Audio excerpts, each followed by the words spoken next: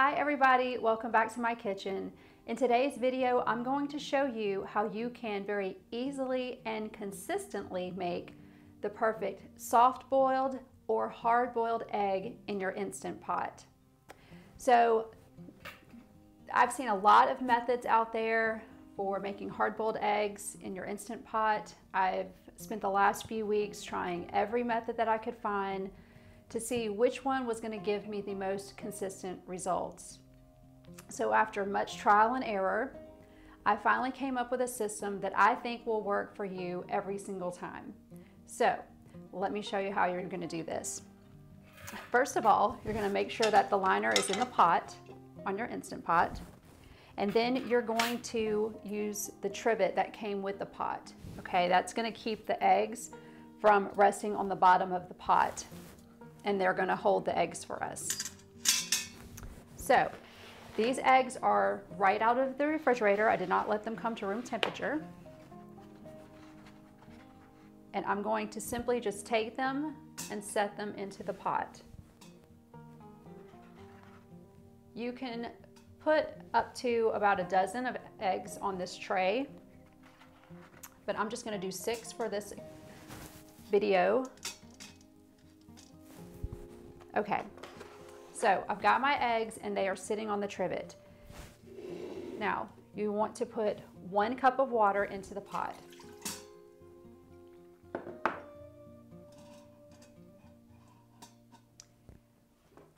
We're gonna put the lid on. Now you wanna make sure the ring is set nicely inside the top.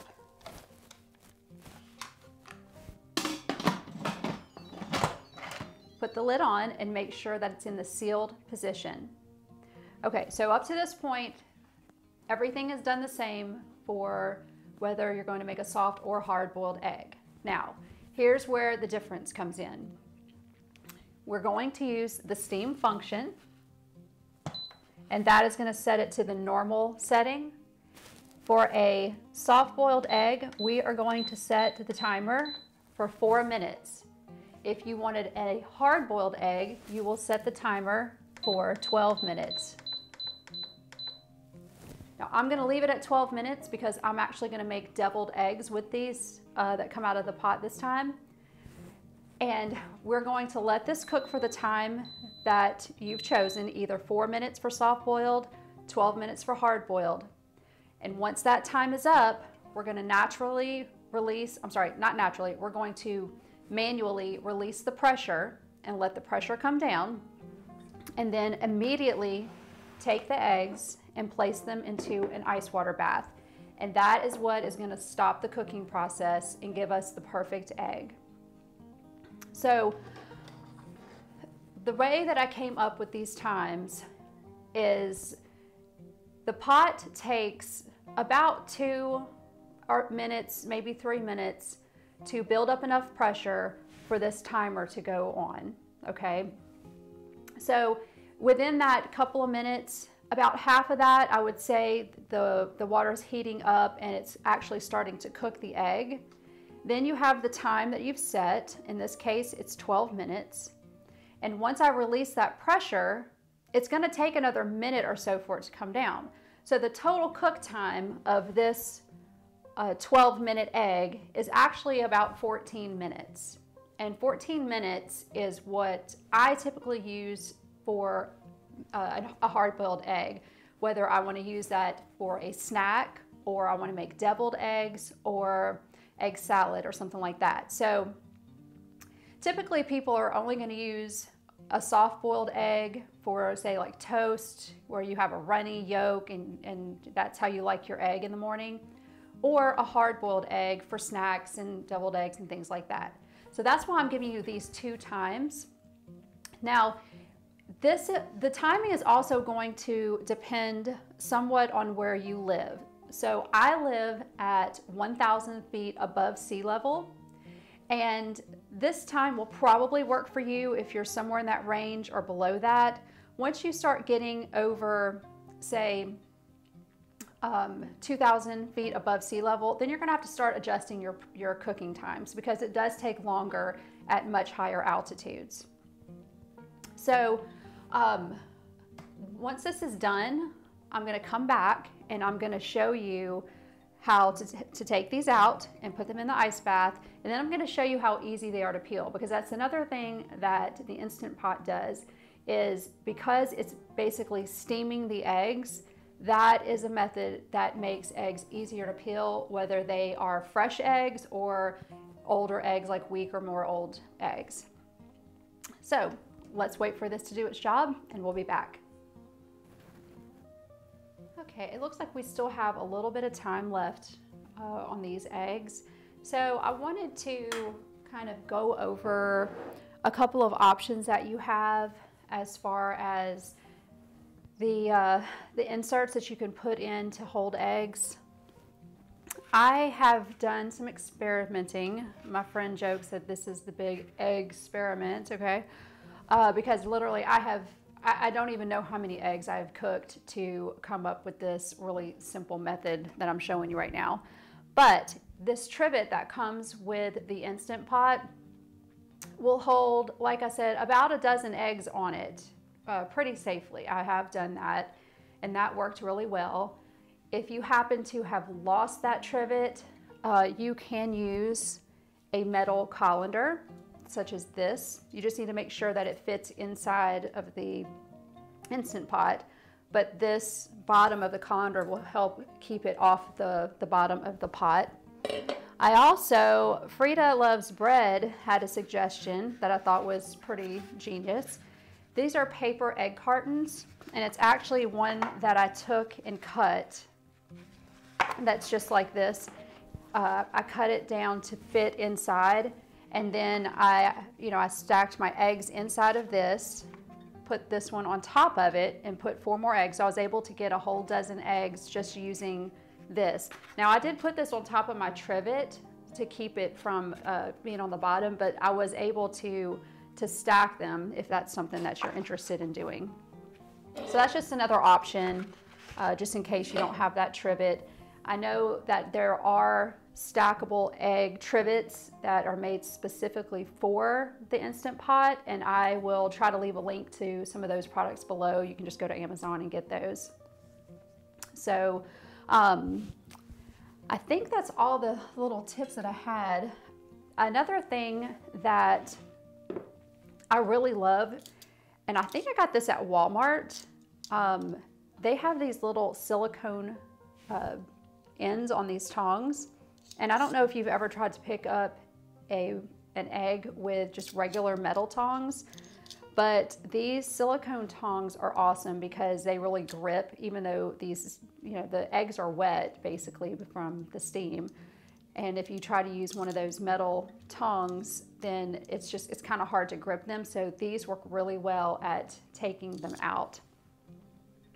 So um, another thing that I wanted to let you know is that if you go to my website, I have experimented with several different cooking times uh, that are in between this really soft boiled egg and the hardest boiled egg.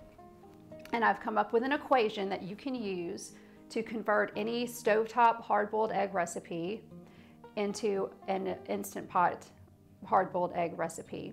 And it's just really super simple. If a recipe calls for a 10 minute hard boiled egg that you would make on your stove top, you just simply take two minutes from that. So it's 10 minutes minus two minutes equals eight minutes. That's the time that you will set on this timer. And then once it's done, you will immediately uh, release the pressure and take them out and put them into the ice water bath. And again, that's because we're taking those two minutes off of that cook time because there's a, a, minute or so that it's building up the pressure before the timer starts. And then when you release it, it takes about a minute to come down. So that's where that two minute difference is. And I've tested it with, with you know, eight minute, 10 minute, 12 minute, 14, and it's been pretty consistent. But I would suggest that because we all live in different areas with different altitudes, and that does make a difference in your cooking time, I would suggest taking one or two eggs, putting it in the Instant Pot, and, and doing like a test run. And that way, in the future, you always know how many minutes you need to set your Instant Pot for, for whatever recipe you're making. It's really just that simple. The um, America's Test Kitchen and also the Egg Board or the American Egg Association recommend uh, steaming your eggs in order to get the easiest to peel egg. And it really does work. So the Instant Pot is perfect for steaming eggs. And at this point, this is probably the only way that I'm ever gonna do it unless I just don't have an Instant Pot with me to, to do it with. So there we go. So let me get a rag. And the reason why I'm getting a rag or a pot holder is because the steam that's gonna come out of here is going to be very, very hot. So let's go ahead and just move that into the, the venting position. So all the steam will come out. And then uh, you won't be able to take this top off of the Instant Pot until this little button comes down. That's a safety valve and it just makes sure that you're not gonna, you know, have anything go wrong. So we're just going to lift this off. Now, when I do stuff that has a lot of steam, I like to do, put the, um, the lid on the side if you have this brand, because the, the condensation goes into this little, little cup in the back. I'm not sure if you've ever noticed that or not before, but that's what that is for. So let's get these out of here so they stop cooking. And hopefully I have a big enough bowl here. So I'm gonna let these sit and you really don't even need to let them sit for, for that long. A few minutes is good enough. So let's just let those sit for a few minutes and I'm going to move this out of the way. Let me just go ahead and move this just so we have a little bit more space here. And you really just want these um, cool enough to where that you, you can handle them. So let's see, I'm gonna go ahead and see how easy it is to peel just after, you know, not even a minute in the water. Um, uh, I find the easiest way to peel an egg is I like to tap the, the top and the bottom and then roll it. And that's just gonna help kind of break that membrane away from it. and then it just just peels right off of it. I mean, it is just amazing how easy these are to peel. Just rinse it off a little bit. And then let's slice in and see what it looks like. And there you go. Look, it's it's really just it's perfect. So I am going to make some deviled eggs with these and um, that recipe is going to be coming up very, very soon, so watch out for that. I'll link it back to this video once it's done. And I'm to go ahead and do another batch with the soft-boiled eggs just so you can see what that looks like. So I'm to get those going for four minutes, and then when they're done, then I'll bring you back and I'll just cut it open so you can see what it looks like. Okay, we've got our soft boiled egg here. So I'm gonna crack it open. With the soft boiled eggs, I do feel like you have to be a little bit more gentle when you're peeling them just because the inside is not set. So there's a little bit less structure. So let me see if I can get this peeled without it falling apart. It's going to be, like I said, it's the whole, the entire, the white and the, the yolk and everything is softer. So it's, it's just a little bit more delicate. So just be kind of a little bit more careful. All right just off a little bit and we'll cut it open. You can see what it looks like. See how that's got just a nice runny yolk, which is perfect for dipping toast in. So one of the things that I was gonna try to do is I'm gonna, I'm gonna break open another one of these and see if we can't get it set into the, uh, the little egg holder cup. So we can dip it, oh, see that one just broke. So I'm saying these are, like I said, these are a little bit more delicate, okay? The soft boiled eggs. So just take your time with these.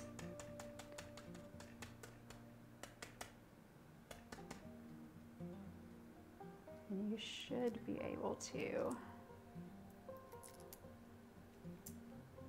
get it to come open. The hard-boiled eggs, you're not, you're, I mean, you're never gonna have a, a problem peeling them. It's just the softer ones.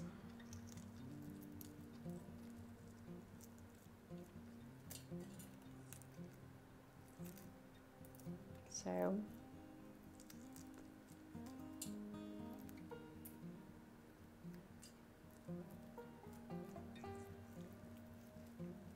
but I thought it might be cute. And I know a lot of times when people do soft boiled eggs, they will leave them in the shells for presentation. But what I thought we could do is set this in this little egg cup, just like that.